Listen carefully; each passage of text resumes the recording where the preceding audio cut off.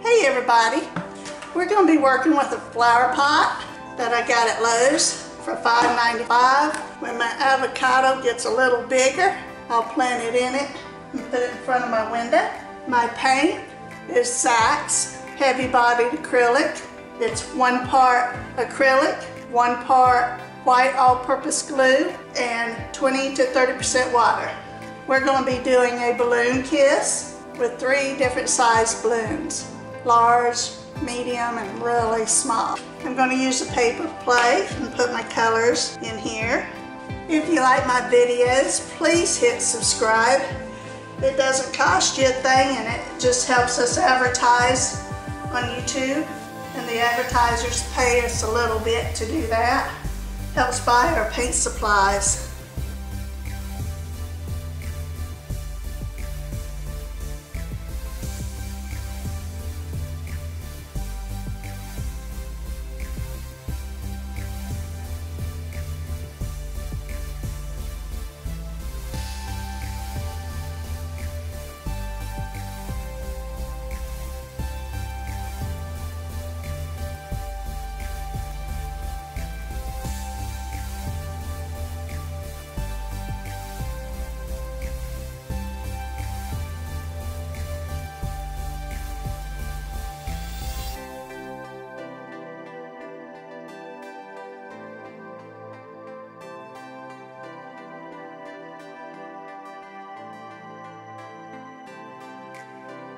Okay, there's that flower.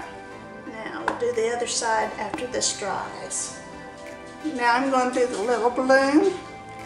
This is just a long skinny balloon that I've cut.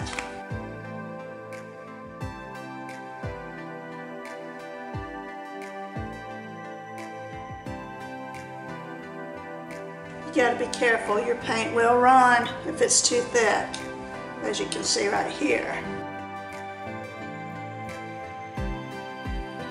I'm laying this on here and I'm twisting. See how that does? I'm going to use a bigger balloon and do me some bigger flowers. The color you want to show the most is the one you put on last.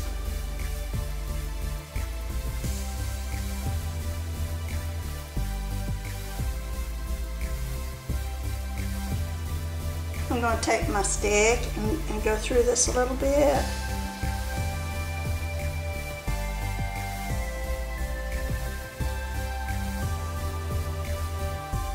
Gotta keep eye on that paint, it runs. If this doesn't come out good, I will spray paint it and try again.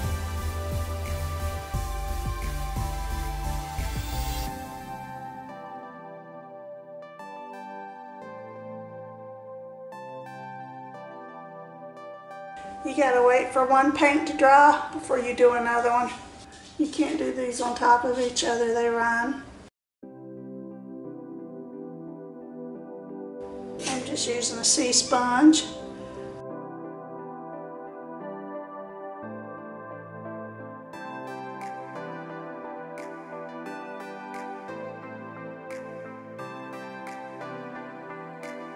You gotta keep looking for drips. Make sure you get your drips before they dry. But on this plastic, if you lose one and it goes crazy on you, you can always scrape it off.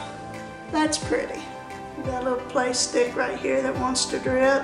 Just pat it down. Doesn't have to be perfect. I don't really want the paint up there, so I'm gonna get rid of that with a Q-tip.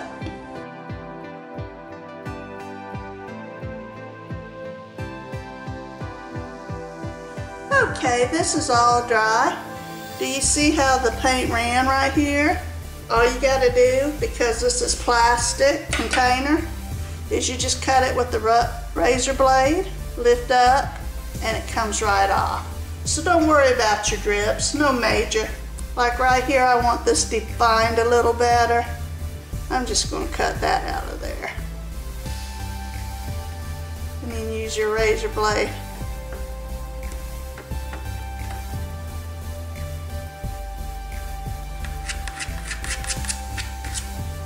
there you go.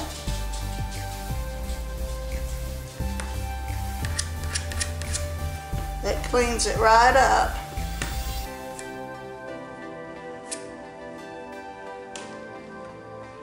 So don't worry about boo-boos and runs. I'm not going to do the back of this. It's not going to show. It's going to be over in the corner. So I'm just doing the front of it. As you see, this dried. This is a little darker, but it looks good. It just gives a little depth. So I'm going to leave that. Let's add us some leaves. I want to define my red purple flowers a little better. So I'm going to use a Sharpie and just go around. Just round out my corners on my flowers a little bit. Doesn't that look better? See, that looks a little better than that does.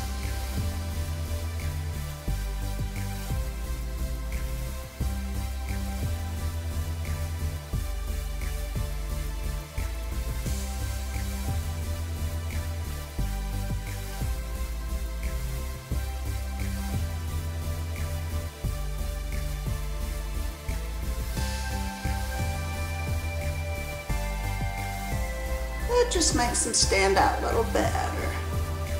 And I use a brush with a rounded tip. I just like it better. I'm going to dip half in the dark and half in the light and just do some leaves like that. Again, this paint will run, so you got to keep an eye on it.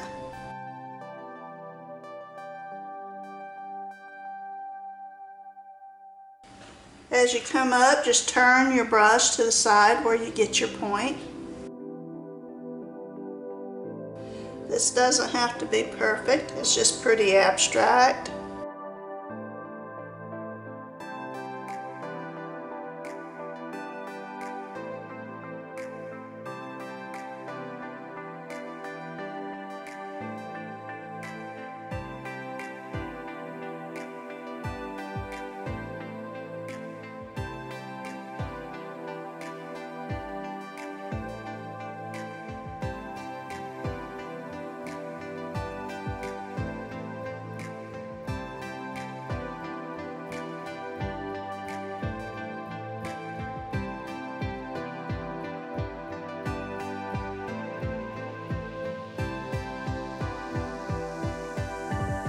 When this dries, I will spray a sealer, clear sealer over it, just to shine it up a little bit. My kitchen is silver backdrop and my curtains are black with a little bit of um, sparkle rhinestones in them. So I'm going to add some bling across the top just to give it something a little more.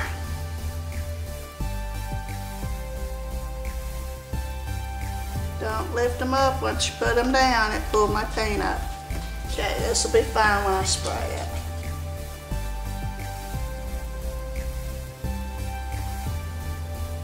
I hope you enjoyed.